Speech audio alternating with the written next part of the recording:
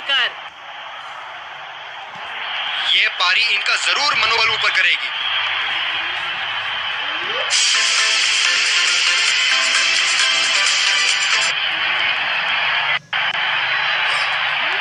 बहुत ही अच्छा गैप निकाल रहे हैं आज। बहुत ही सटीक प्लेसमेंट बल्लेबाज का।